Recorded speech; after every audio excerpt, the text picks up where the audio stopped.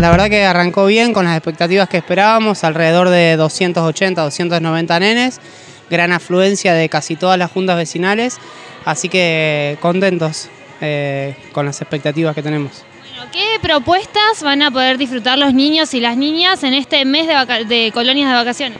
Bueno, la colonia va a ser de lunes a viernes y este año por primera vez contamos que de martes a jueves vamos a tener la pileta, digo por primera vez porque siempre la pileta la contábamos dos días y hoy la vamos a tener tres. Vamos a tener eh, talleres de hockey a cargo de Juan Manuel Asconapé, que también va a estar los tres días, y también estímulos de canotaje los tres días, martes, miércoles y jueves. Durante dos horas y media van a pasar todos los, grupos por, los distintos talleres.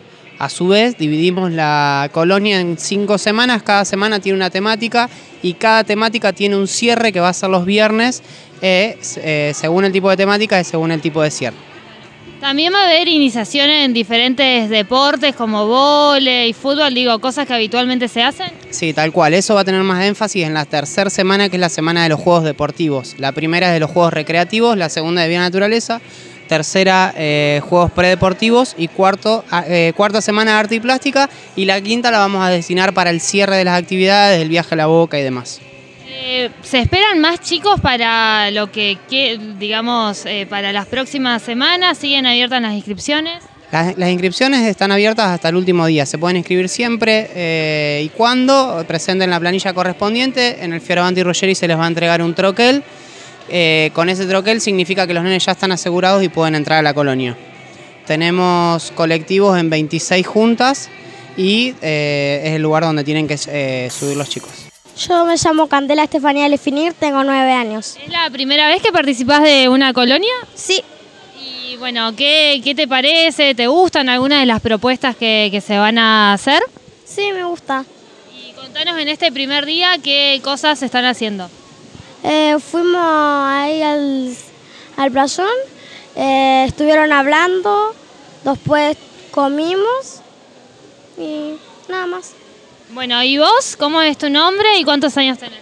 Yo me llamo Celeste Lefinir Tatiana, ¿Cuántos años tenés? nueve, Nueve. ocho, digo.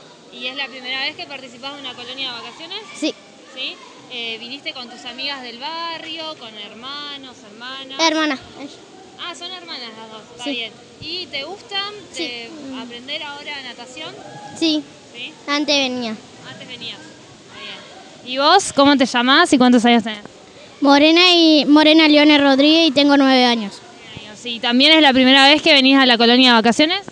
Eh, no, ya, ya estuve acá. ¿Y te gusta participar? Sí, siempre me gustó y estoy de los seis años. ¿Y qué cosas aprenden en la colonia de vacaciones? Eh, aprender juegos, vóley y todo lo que es cosas de deportes y también natación. Bueno, acá viene otra. ¿Cómo te llamas? Leila. Leila, ¿cuántos años tenés? Ocho. Ocho. ¿Es la primera vez que venís a la colonia de vacaciones? No. ¿No? ¿Te gusta? Sí. ¿Qué cosas haces en la colonia?